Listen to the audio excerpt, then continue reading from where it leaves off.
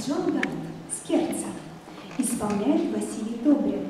Преподаватель Вера Александровна Земскова, детская музыкальная школа имени Чайковского.